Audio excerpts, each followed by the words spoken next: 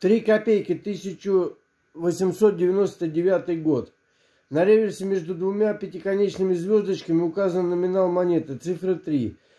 Под ней надпись «Копейки». Ниже под декоративным разделителем в виде двух разнонаправленных декоративных линий с кружком посередине мелко знак Санкт-Петербургского монетного двора, буквы S.P.B.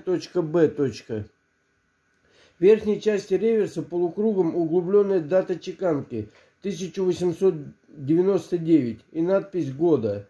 В нижней части вдоль канта полукругом венок из лавровой слева и дубовой справа ветвей, перевязанных внизу на узел бантом. На аверсе в центре изображен малый государственный герб Российской империи образца 1856 года. Под большой имперской короной двуглавый орел, коронованный двумя императорскими коронами.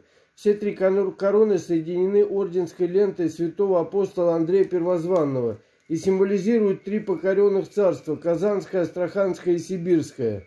На груди орла московский герб, щит с изображением святого Георгия Победоносца, копьем поражающего змея.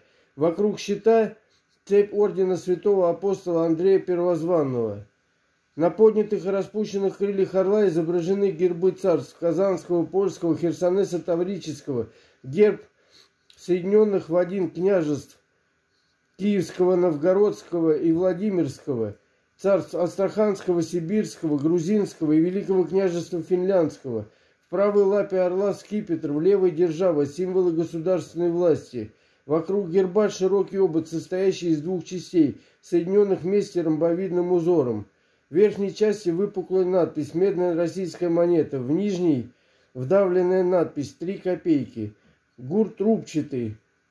Монета образца 1867 года отчеканена из меди на Санкт-Петербургском монетном дворе тиражом 11 миллионов 666 тысяч 667 штук.